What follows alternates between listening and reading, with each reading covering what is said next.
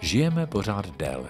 Díky kvalitní zdravotní péči a dobrým podmínkám se dožíváme stále vyššího věku. Tím se však prodlužuje především doba, po kterou jsme v důchodu. Naše prababičky a pradědečkové v důchodu strávili v průměru 11 let. Dnešní seniori jsou v důchodu víc než 22 let. Tedy dvakrát déle. Narůstá tak nejen doba, po kterou lidé důchod čerpají, ale také počet lidí, kteří v důchodu aktuálně jsou.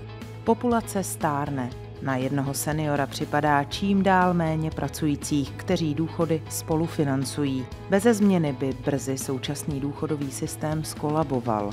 A protože chceme, aby každý, kdo celý život poctivě pracoval, měl ve stáří důstojné podmínky a adekvátní penzi, je nejvyšší čas udělat v důchodovém systému změny.